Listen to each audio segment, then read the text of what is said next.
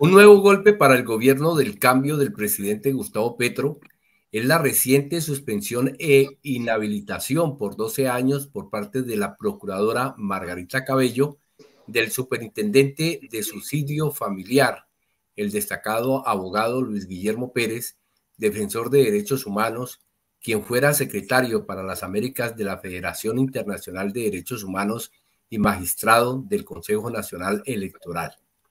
Algunos sectores interpretan esta acción como una persecución política al gobierno del cambio. Para tratar este tema y pues ampliar la información sobre esta suspensión de parte de la procuradora Margarita Cabello contra el superintendente de subsidio familiar en, Colombia, eh, pues hemos invitado en persona a Luis Guillermo Pérez, al doctor Luis Guillermo Pérez, para que nos hable sobre esta situación. Doctor Luis Guillermo Pérez, bienvenido a nuestra emisión en el día de hoy. Hola Hugo, un gran abrazo para ti y para toda la audiencia. Doctor Luis Guillermo, ¿cuáles son sus argumentos frente a, a las acusaciones que llevaron a cabo su suspensión e inhabilitación por parte de la procuradora Margarita Cabello? Bueno, se trata de una persecución de naturaleza política. Para nadie es un secreto los vínculos muy estrechos que tiene Margarita Cabello con Álvaro Uribe Vélez, quien en su momento la postuló para fiscal general de la Nación, luego en el gobierno de Duque la nombraron ministra de Justicia y luego se aseguró de que fuese electa en el Senado como Procuradora General de la Nación. Es una señora afecta a la extrema derecha, que no le importa arrasar con los principios de la democracia y el Estado Social de Derecho, y aquí violentando eh, todas las formas de un debido proceso, todas las garantías que debería tener para una defensa judicial, fui condenado antes de ser vencido en juicio. Y la señora desde diciembre del año 2022, ella misma ordenó que se me abriese una investigación disciplinaria en mi contra sin que hubiese queja de ningún ciudadano, ni siquiera una queja anónima, ni un documento público ni privado que estableciese que yo estaba cometiendo alguna irregularidad, irregularidad en la superintendencia. Eh, la señora decidió ordenar que me abrieran la investigación e inició en mi contra una investigación que les llegó el pasado 7 de mayo a inhabilitarme de manera general por 12 años, es decir, privándome de mis derechos políticos a elegir o ser elegido a poder ejercer un cargo público durante 12 años. Y eh, con esa eh, destitución eh, que está lejos de representar cualquier tipo de irregularidad, todo lo contrario, lo que, que he hecho es actuar en defensa de la transparencia, la ética, la integración social, la promoción de la paz, de los derechos humanos en el sistema de subsidio familiar. Pero pues a estas personas les molesta mucho que justamente se recuerde que este sistema es un sistema a favor de todas las familias trabajadoras de Colombia y no de unos clanes políticos o de algunos directores de las cajas. ¿Cuáles fueron esos argumentos eh, eh, de parte de la procuradora para inhabilitarte y sancionarte de esta forma? 12 años de suspensión. En primer lugar, se me reprocha el haber pedido una contribución solidaria, voluntaria a las cajas de compensación familiar con la paz en Buenaventura. Dice la Procuraduría que dentro de mi manual de funciones no está el pedir ayudas solidarias. Lo que olvida la Procuraduría es que el manual de funciones y la función pública y la de cualquier empleo público se enmarca en primer lugar en responsabilidades y obligaciones de naturaleza constitucional y se enmarca también dentro de los convenios internacionales que ha ratificado el Estado colombiano. Así que el promover la paz es una obligación social para cualquier ciudadano o ciudadana en Colombia, para cualquier persona natural o jurídica, y con mayor razón lo es para quien ejerza una función pública. Y tenemos todos que obedecer el Plan Nacional de Desarrollo que eh, justamente eh, nos obliga a contribuir a convertir a Colombia en potencia mundial de la vida, a generar paz total, a crear las condiciones para una mayor integración social en el país.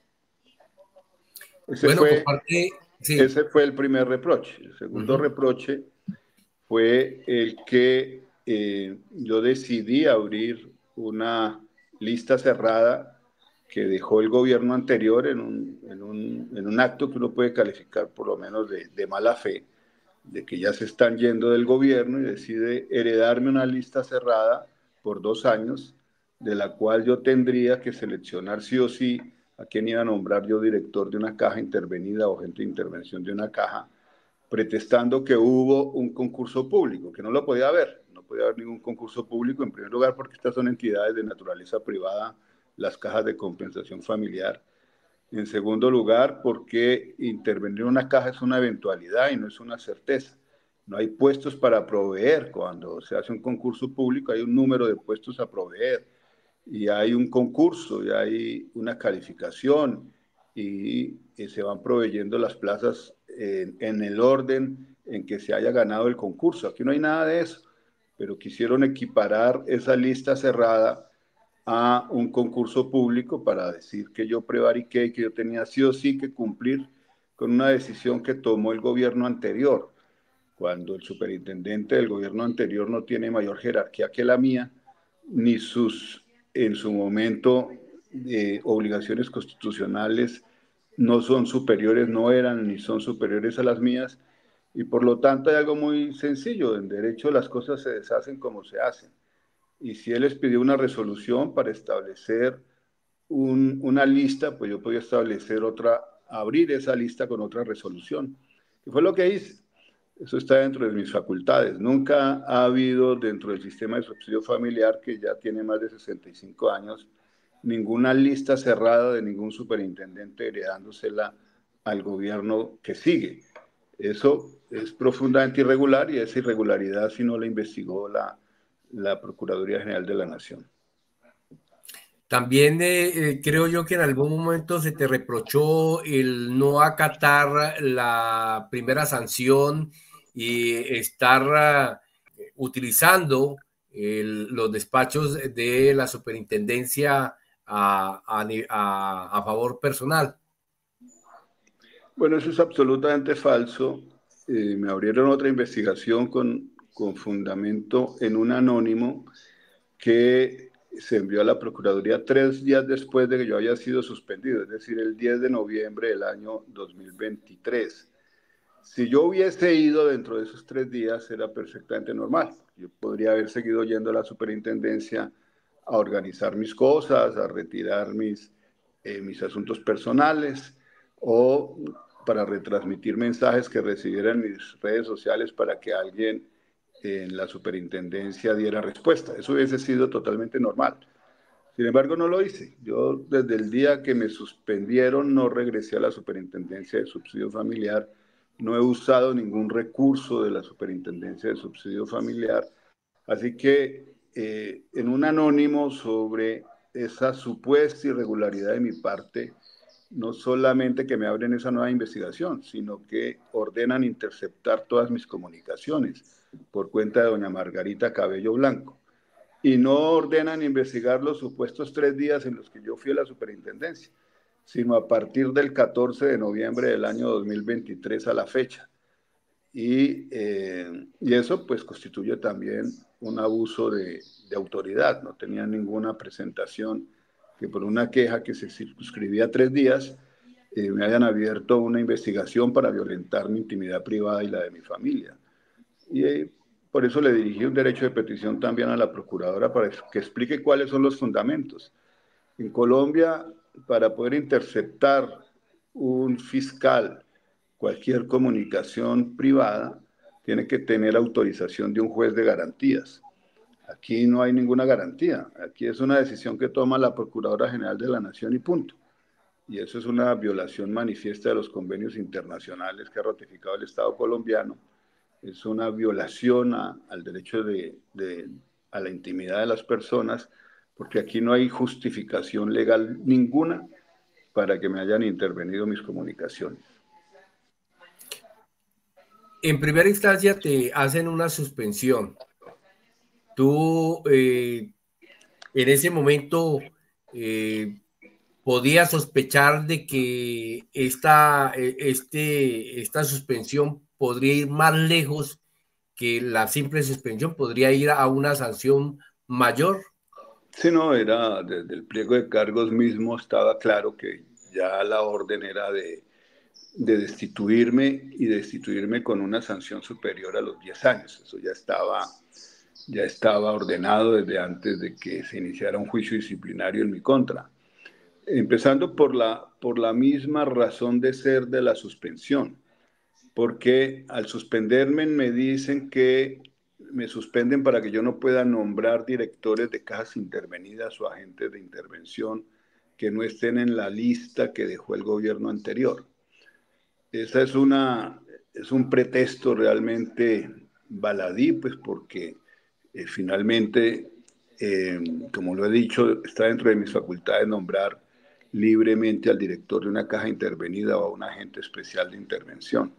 Eso es propio de las facultades del superintendente de subsidio familiar, o sea, no tenían razón de ser para que me fueran a suspender por ello. Pero además dice que mi resolución por la cual yo abrí la lista es inconstitucional y es ilegal. Aquí la Procuraduría está usurpando funciones del juez natural, que es un juez contencioso administrativo. El único que puede decidir que un acto administrativo es inconstitucional o es ilegal es la justicia contenciosa administrativa, pero no lo puede hacer de manera caprichosa la Procuraduría General de la Nación. Además, porque nunca demandó en nulidad mi resolución y mi, resolución se seguía presumiendo de buena fe y con plenos efectos en la vida jurídica. Entonces ella no podía, la Procuraduría no podía presumir una ilegalidad de un acto administrativo o la inconstitucionalidad del mismo si no lo demandaba. Pero más grave aún, asegura que yo, para poder configurar una falta disciplinaria gravísima, asegura que yo prevariqué. Pues el prevaricato es una violación manifiesta de la ley y tendría que demostrar que la resolución que expidió el gobierno anterior dejándome esta lista cerrada equivale a una ley de la República.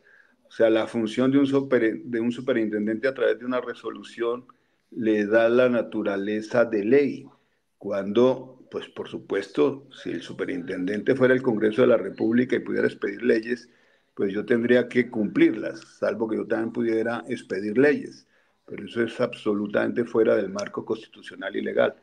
Así que bueno, esas son las arbitrariedades, Hugo. Procedió, procedieron a suspenderme tres meses con un pliego de cargos por haber pedido solidaridad a la paz total con Buenaventura y agregado a ello por haber abierto esa lista de elegibles que, insisto, está dentro de mis facultades. Pero ya con ese pliego de cargos, calificándome dos faltas como gravísimas, eh, indudablemente lo que venía era una destitución en los términos eh, que se me ha impuesto en esa decisión espuria del 7 de mayo. ¿Qué acciones legales piensas tomar frente a esta decisión de la Procuraduría? Bueno, estamos recolectando eh, pues toda la información sobre derechos de petición que estamos presentando a la propia Procuradora General de la Nación para llegar a, a eh, tener los argumentos necesarios para presentar quejas disciplinarias de acción penal contra la Procuradora General de la Nación y contra todos los funcionarios que han de manera irregular cumplido órdenes de doña Margarita Cabello para contribuir a, estos, a esta persecución en contra mía. Adicionalmente, pues habrán otros mecanismos. Por ahora, pues tengo que apelar la, que tengo que apelar la sanción, pero quien va a resolver la apelación pues es la misma sala que ya en dos horas me resolvió una recusación, negándola. Y eh, pues eso ya muestra, en primer lugar, la absoluta desproporción con la que se viene actuando. Allí no tengo ninguna garantía, ya se sabe que la apelación no va a prosperar y que van a ratificar uno a uno eh, los cargos por los cuales se me condena. Eh, pero lo tengo que hacer y tengo que dejarlo como constancia histórica, como lo he venido haciendo, porque después si no, si no apelo no podré demandar a la Procuradora General de la Nación por todas las irregularidades que ha cometido a la Procuraduría como, como ente estatal. Y a nivel, eh, a nivel internacional. Se puede hacer ante el Sistema Interamericano de Derechos Humanos o se puede hacer también ante el Comité del Pacto de Derechos Civiles y Políticos de las Naciones Unidas. Y voy a ensayar este camino del Comité del Pacto de Derechos Civiles y Políticos de la ONU. Ya. ¿Consideras eh, que esta persecución que, que, se viene haciendo puede ser, eh, puede estar dentro del mismo marco de la persecución política que le están haciendo al gobierno del cambio. No, sin duda, sin duda que este es un, es un golpe no contra Luis Guillermo Pérez Casas, es un golpe contra el gobierno de Gustavo Petro Rego. Ellos conocían justamente la importancia de, de todo el trabajo que estaba realizando a favor de la paz, de la inclusión social, el programa que he desarrollado de canastas de paz con las cajas de compensación familiar, del pacto por la primera infancia y la adolescencia que eh, promoví, firmaron todas las cajas de compensación familiar, el pacto por la vivienda para que las cajas entregaran eh, efectivamente casas y no subsidios, que muy a menudo terminan siendo una gran frustración para las familias trabajadoras que ganan uno o dos salarios mínimos, etcétera. Así que bueno, es un golpe duro contra el gobierno nacional, por supuesto. Eh, en lo particular siempre he sostenido que, y no me gusta victimizarme, porque finalmente cuando uno asume transformar realidades tan complejas y, eh, estados tan profundamente penetrados por la corrupción como el nuestro, pues el statu quo no se va a quedar quieto, no se van a quedar con los brazos cruzados, van a reaccionar, van a intentar amenazarte o, en o, asesinarte o en el caso mío, pues querer darme una muerte política eh, como la que pretenden inhabilitándome pues por 12 años, que eh, en todo caso tengo la, la, certeza de que voy a terminar ganando este pleito. Bueno, el caso tuyo, yo, yo me, acuerdo mucho de lo, que le pasó a Piedad Córdoba con el eh, procurador Alejandro Ordóñez que prácticamente se hizo un montaje con, eh, contra la senadora Piedad Córdoba, la inhabilitaron eh, para ejercer cargos públicos y, pues a, la... Después de años, la, senadora logró tumbar esa decisión y eh, pues que se diera un fallo a favor suyo. O sea, esto prácticamente puede tener años de, pleito jurídico. Eh, o sea, ¿tú estás dispuesto a, enfrentar todo este, todo este, todos estos años que, se te vienen encima de proceso? Pues yo tengo una paciencia larga como mi capacidad de resiliencia, porque pues, ya llevo 40 años defendiendo los derechos humanos, Hugo, y aquí uno aprende a dar batallas estratégicas de muy largo aliento. Nuestro proceso del colectivo de abogados José Alvear Restrepo contra el Estado colombiano nos costó 22 años de litigio en el sistema interamericano hasta que salió la sentencia el 11 de marzo pasado. Así que eso puede demorar tiempo, pero pues igual eh, hay otros mecanismos internos que tengo que agotar, pidiendo la revisión de, de la tutela que presenté contra la primera suspensión en la Corte Constitucional que espero que efectivamente sea seleccionada la próxima semana. Hay dos magistrados de la Corte que ya lo han pedido, em, pero hay otras tutelas en curso que espero que se resuelvan también los próximos días. ¿Qué retos eh, eh, tuviste que enfrentar durante tu gestión eh, como superintendente y bueno, ¿y cómo los abordaste? Bueno, son, son muchos los retos que tiene un sistema Em, que lamentablemente el país poco conoce. Eh, incluso pocos conocen que existe una superintendencia de subsidio familiar. Y eh, millones de trabajadores desconocen que tienen cajas de compensación familiar a las, a las cuales están afiliados y que pueden gozar de, del derecho a tener una cuota monetaria para sus niños menores de edad cuando están bajo su responsabilidad o personas con discapacidad o personas de la tercera edad, etcétera.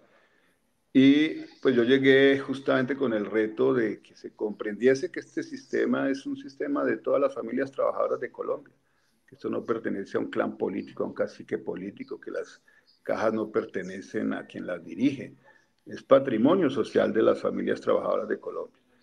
Y ese mensaje pues les molestó a algunos, por supuesto, como también les ha molestado el hecho de que yo haya manifestado públicamente, es un propósito de este gobierno, que se haga una reforma legal para que ningún director de una caja pueda estar más de ocho años y eh, permitir que, que, puedan ser directores de una caja 10, 20, 30, 40 cuando están manejando recursos públicos, eh, pues no tiene mayor sentido. O sea, no, no hay capacidad de gobernanza democrática al interior de estas cajas de compensación familiar cuando un director llega a tener tanto poder. Bueno, ¿qué impacto cree que tendrá tu salida eh, de la superintendencia eh, de subsidio familiar?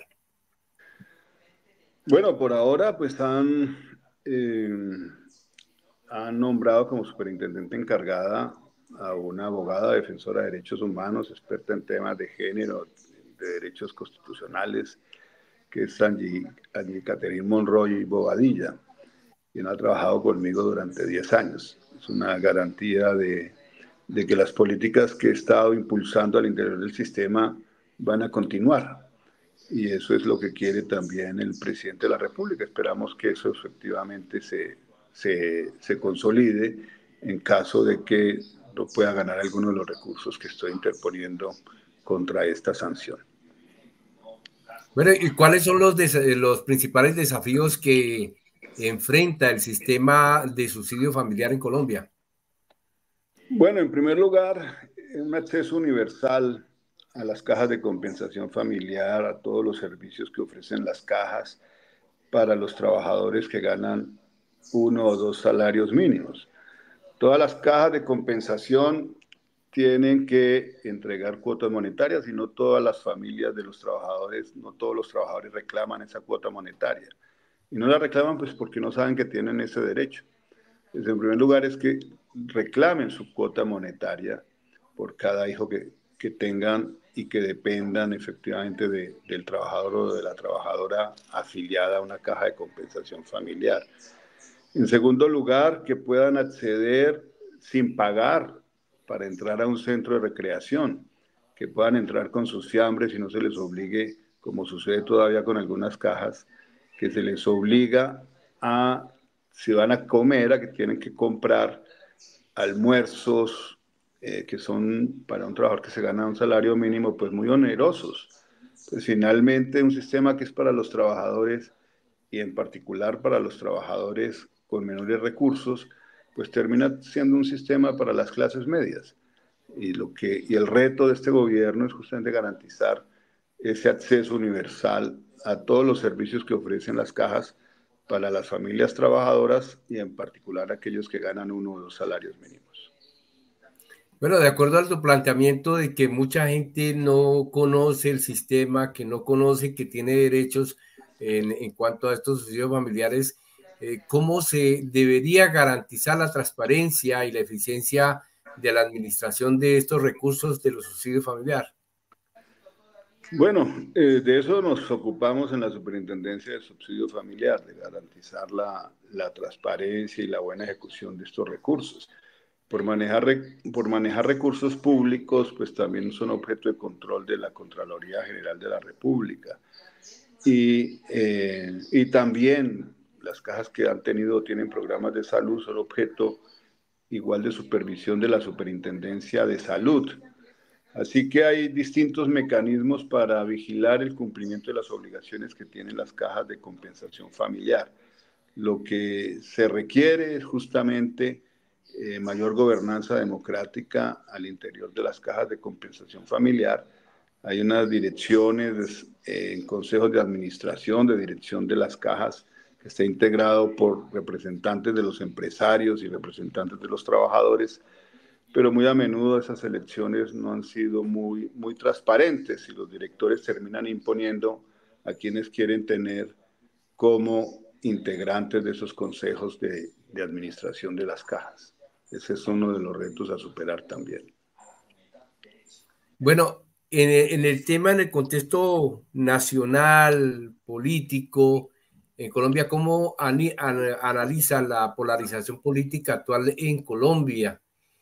Eh, es un tema bastante escabroso, pues vemos cómo en el día de ayer fue asesinado el director de la cárcel modelo de Bogotá, eh, se viene implementando como una como una oleada creciente de, violencia frente a, a una política de gobierno para buscar una paz total. ¿Cómo es esta, esta situación? Bueno, hace parte de una estrategia del establecimiento que es, recuerdo y recuerdo permanentemente a, todas las audiencias en las que participo que el establecimiento de Colombia es uno de los más criminales del mundo. No ha dudado en patrocinar genocidios, no ha dudado en mandar a asesinar a candidatos a la presidencia de la República, no ha dudado en exterminar un partido político como la Unión Patriótica, no ha dudado en seguir ordenando sembrar de violencia al país, pues porque con la violencia es que han hecho sus fortunas. Y en la medida en que se avanza hacia la paz, pues hay más posibilidades de controles democráticos, eh, de que funcione la justicia, de que se puedan enfrentar los graves casos de corrupción. Entre más violencia haya y más inequidad social haya, pues se benefician de eso, necesitan de eso, pues porque de eso han vivido a lo largo de más de dos siglos. Con eso han hecho sus fortunas espurias y mantienen sus privilegios a través de promover la violencia. Así que bueno, eso sabíamos que, que eso iba a suceder, nos hemos enfrentado a eso este es un gobierno que garantiza a la oposición política sus derechos humanos. Aquí no se, no se asesina jóvenes porque protesten, ni se les sacan los ojos, ni se tortura a nadie, ni se persigue a nadie. Aquí hay plenas garantías democráticas para la oposición política, lo que no se ha tenido nunca antes en el país. Ahora, eh, sí, eh, al pueblo se le engaña permanentemente a través de estos medios de comunicación de masas. Lo más grave de estos ataques permanentes contra el gobierno es que hay una incitación permanente para asesinar al presidente de la República, una incitación permanente para dar un golpe de Estado. Y eso es responsabilidad del establecimiento. Y pues ya lo hemos visto, ya como, como hacen sus marchas, eh, invitando a la muerte del presidente, cargando ataúdes como símbolo de, de muerte al presidente eh, y bueno, no se descarta la posibilidad de que lleguen a atentar contra el presidente de la República, al mismo tiempo que siguen pregonando y avanzando en sus estrategias de, del golpe blando, que tiene una realidad concreta, y es que eh, pues el establecimiento controla no solamente los medios de comunicación, controla también las cortes.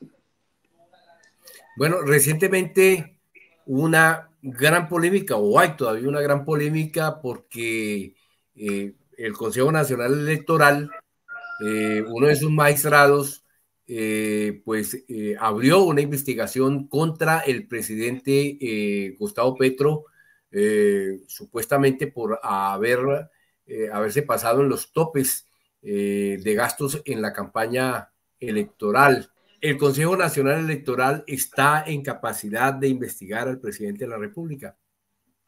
No. Eh, la ley 996 de 2005, que es la que eh, se especializa en las campañas presidenciales, sí le da la facultad al Consejo Nacional Electoral de poder indagar eh, sobre posibles irregularidades en una campaña presidencial. Pero eso es una cosa y otra cosa es violentar la propia ley 996. Y empezando porque la ley es muy clara al establecer que bajo denuncias anónimas o de cualquier ciudadano, transcurridos 30 días después de la elección presidencial, no procede darles curso y el Consejo Nacional Electoral no pudo, no debió haber abierto una investigación sobre la base de una denuncia anónima, porque no lo podía hacer, así lo dice claramente la norma y aún así lo hizo. Y, eh, y, la otra irregularidad pues es pretender investigar al presidente de la República. Eso es facultad exclusiva del fuero presidencial que establece la Carta Política y por lo tanto su juez natural es la Comisión de Investigación y Acusación de la Cámara, que justo el día de ayer han reclamado la, la competencia del Consejo Nacional Electoral para ellos desarrollar exclusivamente esa, esa investigación en lo que concierne al presidente de la República. Pero por otro lado, pues yo he leído y he estudiado la ponencia. Es una ponencia, es un borrador de ponencia, no es una decisión del Consejo Nacional Electoral. Pero en ese borrador de ponencia queda eh, también claro una gran irregularidad, una gigantesca irregularidad, y es que lleguen a considerar como gastos de campaña los gastos de los testigos electorales. La campaña termina un día antes de las elecciones y los testigos electorales justamente eh, se llaman y se capacitan es para que acompañen la jornada electoral y luego los escrutinios en las distintas comisiones. Así que nada tiene que ver los gastos de los testigos electorales con los gastos de campaña. Y esa irregularidad la ha cometido, eh, pues por lo menos los ponentes del Consejo Nacional Electoral en este proceso. Bueno, pues es una, una irregularidad intencional para que los medios de comunicación eh, que pues están eh, en contra del gobierno del presidente Gustavo Petro tengan suficientes argumentos para enjuiciar al gobierno y al presidente. Sí, no, pero pues aquí justamente lo que es un borrador de ponencia con muchas irregularidades se filtró por parte de estos mismos magistrados a la, prensa para que tuviesen de dónde especular, porque finalmente solo lo que hacen es especular en contra del gobierno nacional. Pero pues está, está supremamente claro que aquí estamos hablando de un borrador de ponencia, no de una decisión y tiene que ser eh, votada en el, en el, seno del Consejo Nacional Electoral. Y eso no significa que inmediatamente se produce un fallo, ¿no? Inicia una, un periodo probatorio que eh, puede llevar también un, un tiempo considerable, dado las innumerables cantidades de pruebas que ya fueron realizadas por esta comisión del Consejo Nacional Electoral desde febrero del año anterior.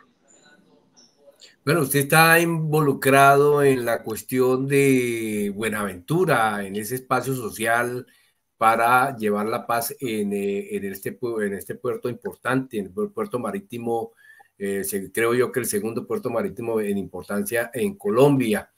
¿Cómo están esos espacios de diálogo y de construcción de consenso en el tema social, en el tema de paz, no solamente en Buenaventura, sino también a nivel eh, de Colombia? Bueno, los procesos de paz son bastante complejos y sobre todo cuando hay tantos enemigos atacando permanentemente cualquier posibilidad de paz. Pero lo de Buenaventura ha sido un éxito extraordinario. Yo hago parte de la mesa sociojurídica, soy delegado del presidente de la República, no como superintendente de subsidios familiares, soy delegado a ese espacio a título personal y tengo que decir con enorme satisfacción de que efectivamente esa tregua entre chotas y espartanos ha ayudado a salvar centenares de vidas, se transforma progresivamente esa cultura del exterminio, de la violencia en, en el distrito de Buenaventura hacia una sensibilización cada vez más eh, por la vida, por el amor al deporte, a las artes, y estamos generando las condiciones que hagan viable que este proceso sea sostenible a largo plazo llenos de dificultades, por supuesto, pero en el 2021 Buenaventura era una de las ciudades más violentas del mundo y hoy, es una de las ciudades más tranquilas de Colombia. Hay una noticia que salió en estos días, un pronunciamiento del gobierno colombiano eh, sobre de que el presidente Gustavo Petro propiamente lo dijo que iba a denunciar ante Naciones Unidas que el Estado colombiano no estaba cumpliendo con el acuerdo de paz firmado en 2016 con las FARC. El propio presidente de la República va a denunciar el Estado ante Naciones Unidas por incumplimiento de no implementación de este acuerdo de paz. ¿No hay una contradicción allí en esta situación? Bueno, el presidente es jefe de Estado, jefe de gobierno, suprema autoridad administrativa, y no es usual que un presidente en ejercicio vaya a cuestionar al Estado que representa por no cumplir con un convenio o con un acuerdo. Pero en Colombia, eh, justamente la, posibilidad de cumplir con el acuerdo de paz no depende solamente del Ejecutivo, depende esencial, esencialmente también del Poder Judicial y aquí de la Jurisdicción Especial para la Paz, que eh, no ha cumplido con todas las expectativas que se tenían eh, en relación con su, con su mandato. Y eh, las amnistías que debería reconocer la JEP, por ejemplo, todavía siguen muriendo en la cárcel presos políticos de las FARC cuando tendrían que haber sido beneficiados con una amnistía hace mucho rato al mismo tiempo que sí se ha favorecido con la libertad inmediata a todos los responsables de gravísimos crímenes de lesa humanidad como los falsos positivos, a centenares de oficiales, suboficiales y soldados involucrados en esos crímenes. Así que allí hay ciertamente unos desfases que tienen que ver con la labor que debe cumplir también el aparato judicial, que debe cumplir de igual manera el Congreso de, de la República, pero son responsabilidades de Estado y son responsabilidades en las cuales cada cual tiene que asumir las responsabilidades que le corresponde y a eso hace relación el presidente de Colombia en su denuncia. ¿Qué papel cree, crees tú que debe jugar la sociedad civil en la defensa y fortalecimiento de todos estos diálogos, de la paz total y también de este gobierno de cambio? Bueno, es, es fundamental cuando el proceso eh, constituyente eh, pudiese llegarse a desarrollar, es gracias a que haya una sociedad civil organizada, a un movimiento social organizado. Y eso eh, implica también que la población sea más consciente de que el poder está en el soberano y el soberano es el pueblo y en la medida en que se sumen estas voluntades individuales y colectivas, eh, pues podrá efectivamente llegarse a hacer los grandes cambios que el país requiere. Los cambios en Colombia no se pueden hacer de arriba hacia abajo, lo hemos intentado con la, con la hermosa constitución de, eh, de 1999. Estamos hablando de una constitución que nació para la paz y con un Estado social de derecho al mismo tiempo que se consolidó todo el proyecto paramilitar. Así que bueno, esos son los retos, es fortalecer la sociedad civil, fortalecer las organizaciones juveniles, campesinas, de mujeres, eh, fortalecer el movimiento comunal y tener claro que esta élite que ha usufructado el país, que lo ha secuestrado a favor de sus propios intereses, eh, pues no puede seguir haciéndolo. Y eso depende justamente del reconocimiento de que el pueblo es soberano. Hay una coyuntura favorable en este momento en Colombia para convocar un referendo que convoque a una Asamblea Nacional Constituyente. No, en el momento no lo creo. Hay todavía mucho por hacer, hay todavía una enorme manipulación que ejercen los medios de comunicación sobre la población.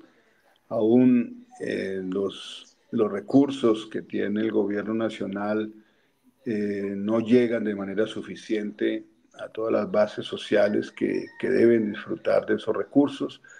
Así que es, es temprano todavía para embarcarnos en un propósito de esa naturaleza.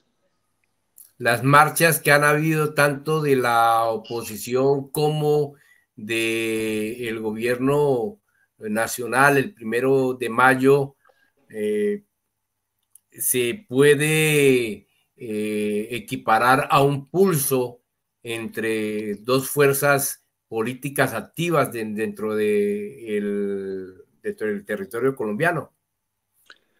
Bueno, yo no diría eso porque pues hay que comprender la naturaleza de las, movilizaciones. Eh, la movilización del 21 de abril que convocó la extrema derecha fue sin duda una movilización grande, importante, que recoge el impacto que ha tenido la más media en, la manera en que disciernen los colombianos sobre las reformas sociales. Es allí lo que uno ve es cómo se ha manipulado la conciencia de las gentes y cómo personas que no tienen ni idea de por qué se, se, oponen a la reforma laboral a pesar de que les beneficie o por qué se, se oponen a la reforma pensional a, pesar de que les beneficie eh, o se oponen a la paz a pesar de que la paz nos beneficia a todos, pues es parte del resultado de esa, de esa gran manipulación. Por otro lado, pues la, la, movilización del primero de mayo en todo el país fue una movilización extraordinaria, nunca se había dado una movilización tan grande en respaldo a la reforma hacia el gobierno nacional, y eso hay también que, que reconocerlo en toda esa dimensión. Bueno, así por último, eh, uno de los, eh, digamos, de los proyectos que se había lanzado a través de eh, la vicepresidenta mm, de Colombia, Francia Márquez, era eh, la, el Ministerio de la Igualdad eh, y que fue tumbado, creo yo que por la Corte Constitucional. ¿Cuáles fueron los argumentos para, para tumbar esta, este ministerio? Bueno, en primer lugar, hay que decir que la Corte tomó una decisión eh, que se ha expresado en el comunicado de prensa. Esperamos conocer el fallo bien pronto, en el sentido de que el ministerio no se cae per se. O sea, el ministerio, con todas sus dependencias, estará vigente por dos legislaturas más, es decir, hasta el 2026. Lo que se requiere es que el gobierno nacional presente un nuevo proyecto de ley donde, donde contemple la regla fiscal de cómo se va a sostener este ministerio a largo plazo. Lo que alega la Corte Constitucional es que no se presentó eh, justamente este sustento de la regla fiscal por el Ministerio de Hacienda y lo tendrá que hacer el Ministerio de Hacienda para que la ley sea efectivamente aprobada pero puede volver otra vez a crearse el mismo ministerio todavía o ya definitivamente se acaba el ministerio? No, yo creo que si efectivamente se cumple con la exigencia de la, de la regla fiscal, el ministerio va a seguir vivo. Bueno, ¿cuál es el mensaje que le enviarías tú a todos nuestros seguidores, a todos nuestros oyentes eh, en este momento a través de, este medio de comunicación. Pues Hugo, sí, ¿no? Un mensaje de, esperanza. Nosotros tenemos que ser resilientes, tenemos que recoger los golpes, levantarnos y seguir avanzando. Eh, nosotros eh, tenemos una naturaleza de reivindicar la vida con un profundo amor social y eso implica que estemos ejerciendo también un liderazgo para eh, generar nuevos empoderamientos y nuevas generaciones que contribuyan a, materializar estas luchas eh, por los cuales muchos de los nuestros han sido sacrificados. Así que bueno, ese es el reto, es mantener en alto la moral, mantener en alto los mensajes que el, presidente transmite de, que en el servicio público estamos es para servir y no para ser servidos, de que estamos es para promover los derechos humanos y la paz, de que estamos es para promover la inclusión social que Colombia tanto necesita. Y esos son nuestros mensajes. Nuestros mensajes no son de desaliento, no son de confrontación, no son de guerra. Nuestros mensajes son de conciliación, de la necesidad de un gran acuerdo nacional y de que el pueblo recuerde permanentemente que el poder radica también en su propia fuerza. El pueblo es soberano. Bueno, doctor Guillermo Pérez, eh, muchas gracias por ah, haber conseguido esta entrevista para pues tratar eh, el tema eh, sobre su suspensión e inhabilitación por parte de la procuradora Margarita Cabello Blanco y también ese contexto nacional profundo que en el cual se viene moviendo Colombia en el plano político, social, económico. Bueno, muchas gracias y le deseo muchos éxitos en todas sus, labores cotidianas y también profesionales. Muchas gracias, Hugo. Un gran abrazo para ti, para eh, tu bella familia.